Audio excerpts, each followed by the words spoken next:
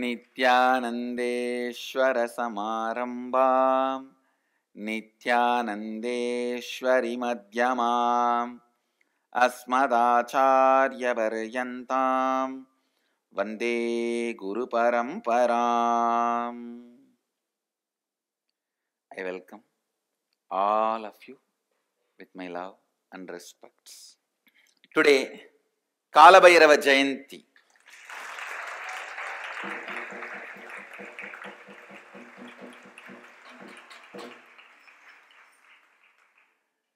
Kalbhairava assumed the form of Kalbhairava. Mahadeva assumed the form of Kalbhairava and removed the false identity of Brahma and gave Shivoham experience to Brahma today.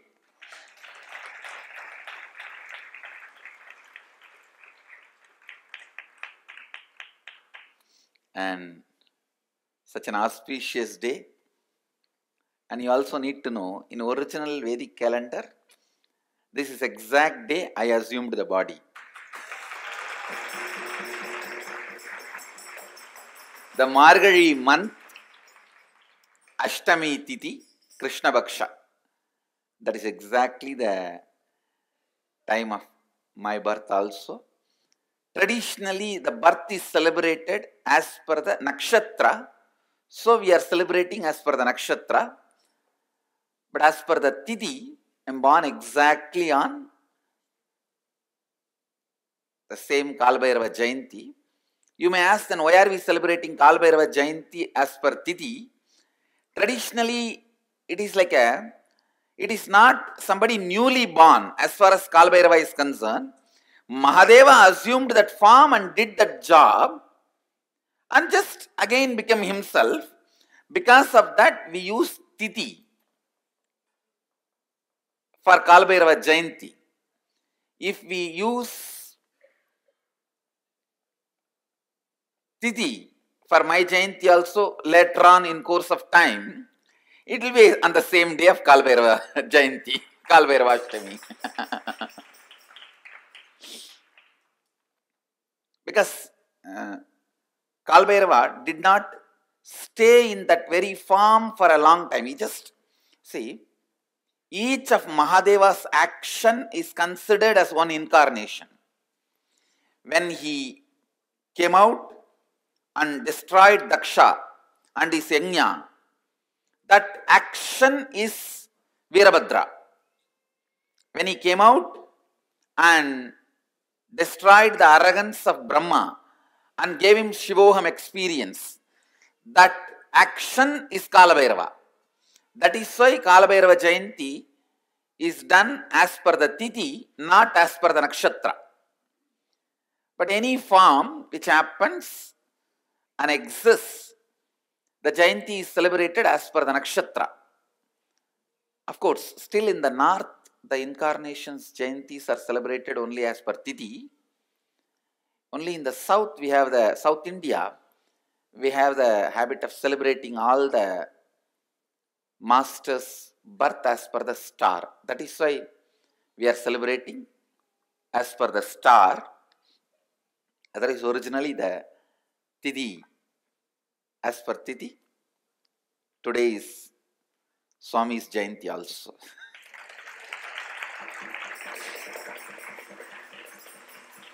and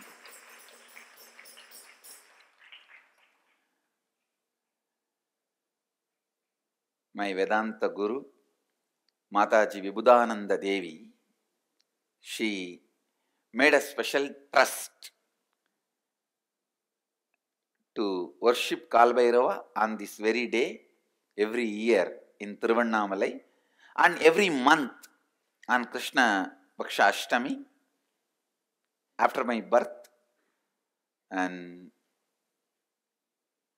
after she initiated me into sannyas, she made this trust, and still the trust is doing that job of every year. The Abhishekam, the worship for Kal Bhairava.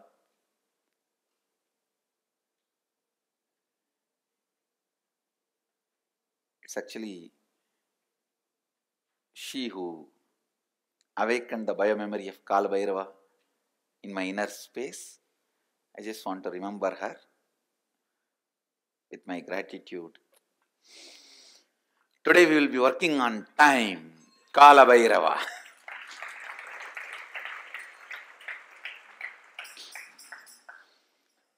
Already the mandala, Kala Bhairava yantra is ready on the floor and Kala Bhairava yantra is ready.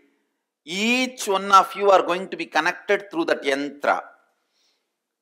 So we have yantra, energized yantra ready for each one. After you go through the process, you can take that yantra with you, it is for you. The Kalbhairava's presence, the powerful presence will be with you. See, at one point, constantly creating, Brahma forgot he is doing it because of the blessings of Mahadeva. With the energy of Mahadeva. See the Brahma's Kamandalu, which is the sacred water, out of which he creates whatever he wants. That water is the Abhisheka Tirtha of Mahadeva. The water washed the Mahadeva's body. That is why in all Shiva temple, where the sacred water, the sacred bathing, sacred bath water, what do you call Abhisheka Tirtham, where, how, where it flows out, there Brahma will be standing with his Kamandalu to constantly refill his Kamandalu. Go to any Shiva temple, you will see where the sacred water flows from the Garbha Mandir, the Abhishekam water flows, there Brahma will be standing with his Kamandalu because that is where he refills and creates the whole cosmos. Unfortunately, by constantly creating, he forgot from where he is refilling his Kamandalu. he was also given the five head by Mahadeva, but suddenly he became little egoistic and arrogant and started thinking that he's see the shivoham has to happen from inside out. It should become experience and then start coming out. And this guy out of his hypocrisy and arrogance started declaring i am everything so now mahadeva has to make him understand and give him that real shivoham experience So he just wakes up from his samadhi. Kalabhairava comes out. The Lord of Time comes out and just cuts that fifth head, which has become a little arrogant. The moment the fifth head is gone, Brahma realizes he is also bound by time. And he realizes that it is hypocrisy that made him feel he is the superior. The moment he surrenders, Mahadeva again gives him the Shivoham experience and gives him the place back in his temple and says you can start refilling your kamandalu from now on and continue the creation. And he gives a permanent place in all temples of Mahadeva where the Abhishekam water, the holy water, the sacred bath water goes. In that place, it's called Gomukam. In that Gomukam, always the Brahma will be there to fulfill his Kamandalu and do the creation. So that action of Mahadeva has happened on this Margasirsha Masa, Krishna Vaksha, Ashtami Titi. That is why we celebrate this day as the Kalabhairava Jayanti. But you should not think Kalabhairava is somebody else separately born. No. It is Mahadeva's action is considered with the identity of Kalabhairava. It is Mahadeva himself is Mahakala and Kalabhairava. It is just his different actions. So his action of coming down to remove the ego of Targavana rishis, that only is considered as Dakshinamurti. Dakshinamurti is not separate from Mahadeva. His action of coming down and with a begging bowl, that is Bhikshadana, and his action of teaching enlightenment and giving the experience of Shivoham to Targavana rishis is Dakshinamurti. So his action of seducing all the Rishi Patnis is the Rishabharuda. If you see that there is a form of Mahadeva, most handsome form, the Rishabharuda, where he just seduces all the Rishi Patnis and the Rishis were shaken because that is the only weak point they had. They were so proud of everything else. So he wants to expose their weak point to them. So that, that form, that action is considered as Rishabharuda. So each of his action assumes one form. Given one form, and same way, his action of Ananda Tandava becomes Nataraja. Nataraja is not separate from Mahadeva. When he dances, he is Nadaraja. When he sits in Samadhi, he is Kailasanada. When he removes the arrogance of Brahma and gives him Shivoham experience, he is Kalabhairava. When he removes the arrogance of Daksha and gives him Shivoham experience, he is Veerabhadra. So these are various forms of Mahadeva. And when he stands as the light shaft and blesses Brahma and Vishnu and gives them enlightenment, then he is called Arunachala, Lingodbhava. So each of his action is considered as one incarnation. Like this, 64 incarnations are there, Mahadeva's incarnations. So each of his actions are considered as one form. Chandesanugrahamurti, Gajasamharamurti, Kalasamharamurti, Kalabhairava, Veerabhadra, Lingodbhava, like this 64 forms are there. All the 64 forms are getting installed in our Bidadi Ashram temple. We are making all the 64 forms in stone and in five metal. There are some deities in Agama tradition, you don't keep them in five metal, like a Lingodbhava Murti is never made in five metal. Only those agamically which are not accepted, those deities will not be made in five metal. Otherwise, all the 64 other than this agamically not accepted, you will see all of them in stone deity and Panchaloha both. Like Bhikshadanandal is accepted to be installed in stone and Panchaloha. Nataraja is accepted traditionally to be installed in stone and Panchaloha. But Lingodbhava was never installed in Panchaloha. He is a fire, he can't be contained in metal. so, but Veerabhadra is traditionally accepted, uh, installed in stone and Panchaloha, both deities. But the temple will have all the 64 forms of Mahadeva described in Shiva Mahapurana. Shiva Mahapurana describes the 64 incarnations of Mahadeva. And you need to understand the word incarnation here. The incarnation has no meaning here, like a, he is separately happened and he lived in that body and not like that. His action is considered as incarnation. he coming and marrying Parvati is considered as Kalyana Sundareshwara. Kalyana Sundareshwara is not separate incarnation, but he coming and marrying Parvati is considered Kalyana Sundareshwara. Like that, all the 64 forms described in Shomaha Purana, you will be able to see all of them. And maybe all the 64 you will be able to see only in Bidadi.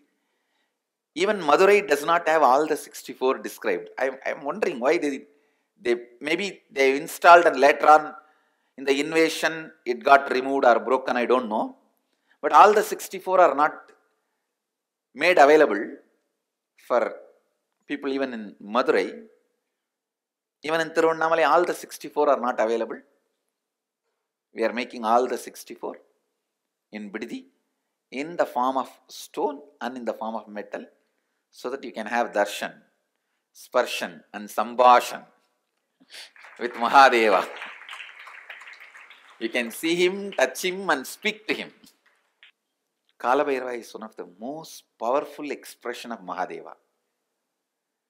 Most powerful expression of Mahadeva.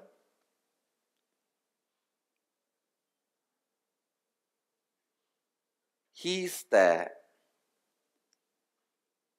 energy on which all the memories are stored. All the memories are stored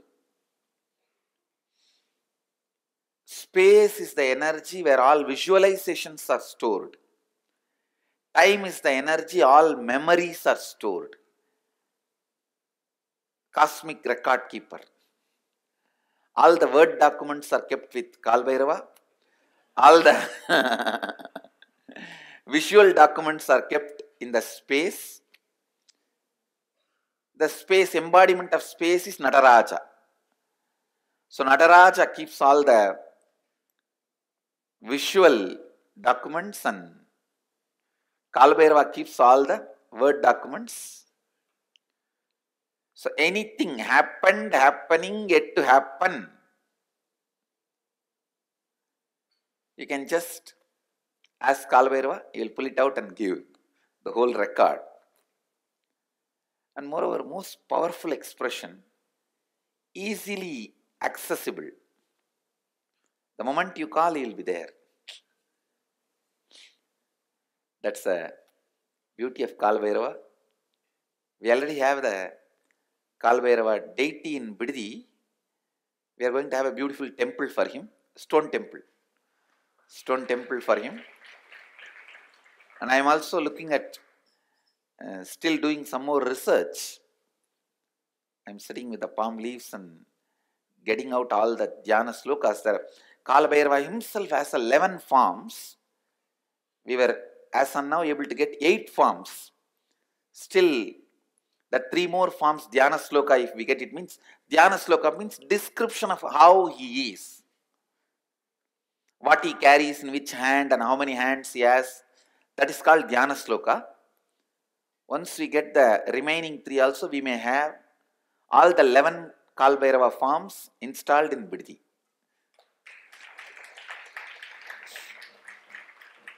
really wanted to have a 1008 temple in Bidadi, working on it. 1008 Sannidhi will be there. When you enter, Ganesha, 32 Ganesha, and Subramanya, all the 11 Ekadash Subramanyas, and Devi, Dasmaha Vidya, and Navadurga, Saptakanyas, and Vishnu, Dashavatara, and Shiva, all the 64 forms. And in that 64, Dakshinamurti has his own 11, Rudra has his own 11, Kalabhairava has his own 11. all those forms also. And all the 27 nakshatra, 12 rasi, and Navagrahas, Ashtadik Balakas, Many of the deities are already made and remaining are getting made. Once completed, it will look literally the the Kailasa, where you just enter and have darshan of all the gods and goddesses of Hindu tradition, pantheon of gods and goddesses of Hindu tradition.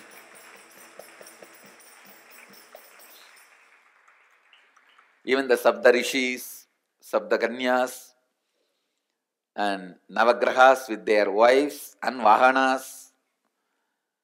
From the childhood, I enjoyed revering, worshipping the pantheon of gods, not just one. I grew up seeing thousands and thousands of deities, gods, and I feel this is the unique strength of Hindu tradition should be kept alive. Should be kept alive.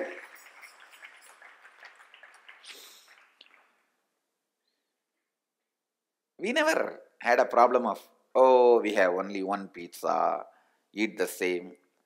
We were very clear, each one have one. we are so vast and so rich in the space of divine.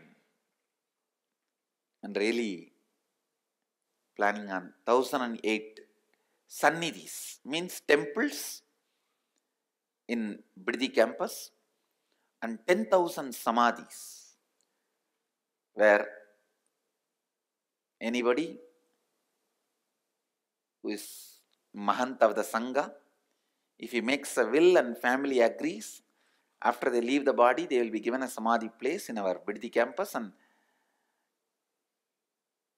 forever they will be sitting in Aksharadhama with me.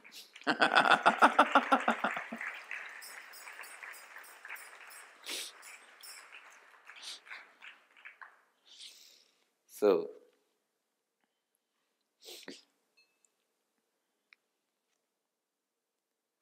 almost 10,000 enlightened beings samadhi, 1,000 temples. I wanted to allot each prahara for one one God. And now, especially after seeing this Cambodia, my plans for temple has increased 10 times more. See, yesterday we were working, sitting and working about some temple projects. If we build it in RCC, cement, square feet costs 1000 rupee. Indian rupee, 1000 rupee means less than $20 US dollar. And if we make the same thing in stone, it costs 10,000 rupee. Square feet, 10,000 rupee. I think uh, $200, less than $200. If the same thing has to be done Cambodia style, skin carved, square feet 1 lakh rupee it costs.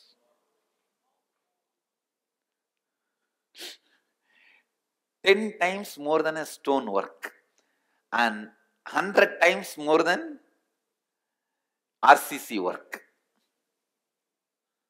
So I was just looking. Today, if we have to build Angkor Wat temple, maybe it will cost around 1 lakh crore. Because uh, so much of precision is required. You see, especially the beamless domes they build in whole India, only in Srirangam temple, the technology is used and still it is standing.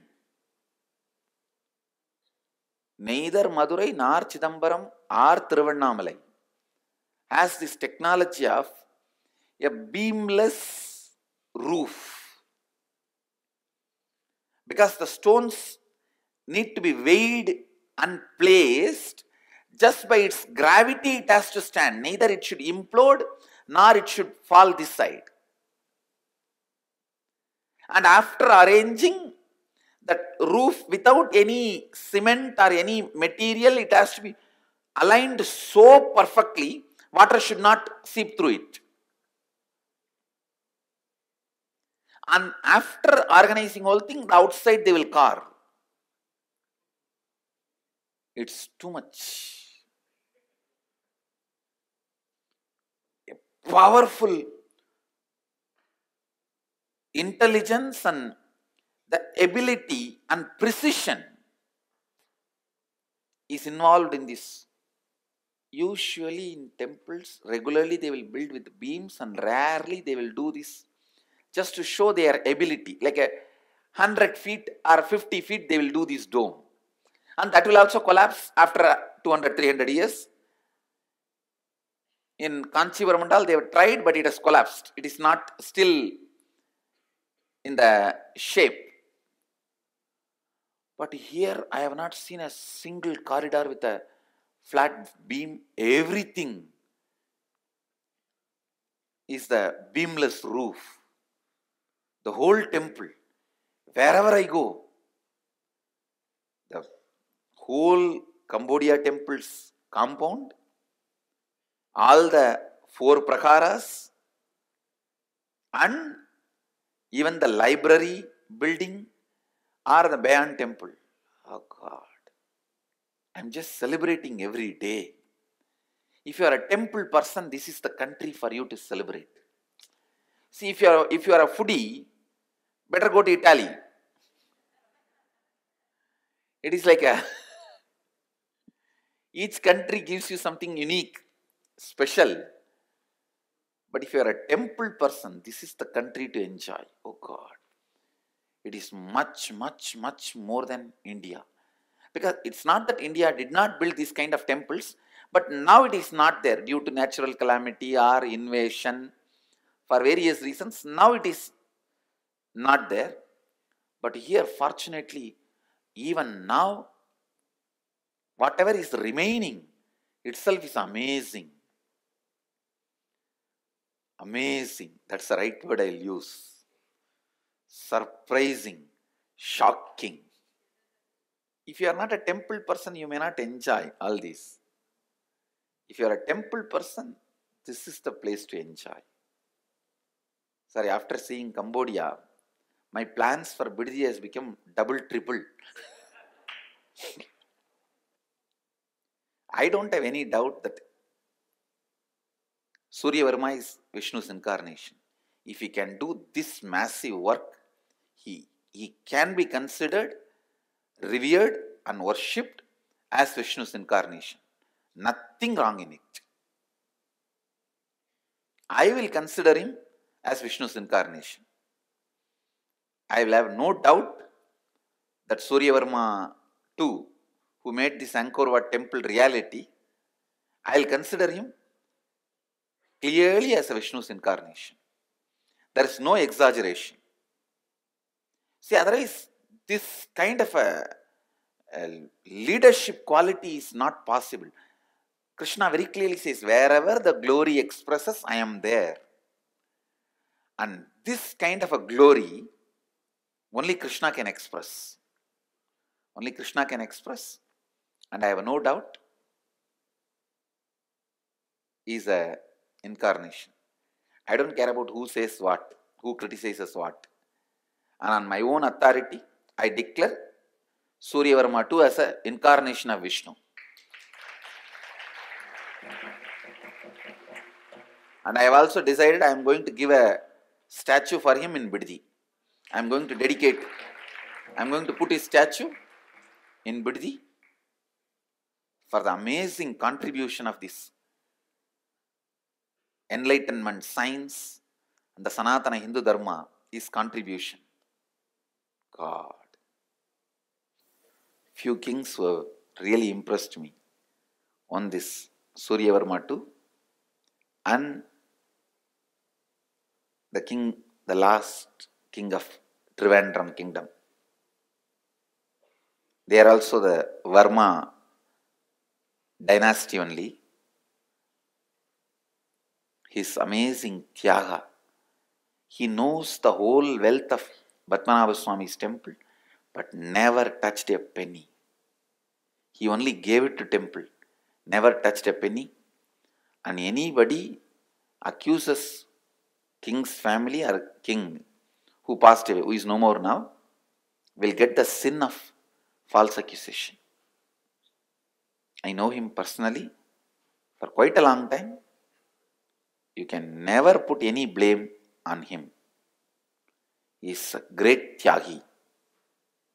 And I have never seen depth of that tyaga in a king. So it's time we get ready to work on our Shivoham process with the grace of Kalabhairava by requesting, invoking Kalabhairava's presence to give us all the experience of Shivoham today.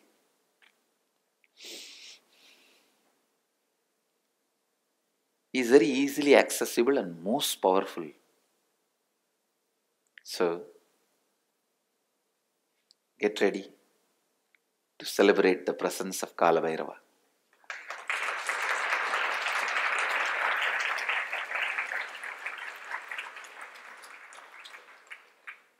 n I bless you all. Let you all radiate with integrity, authenticity, responsibility, enriching and causing eternal bliss. Nithyananda. Thank you. Thank you.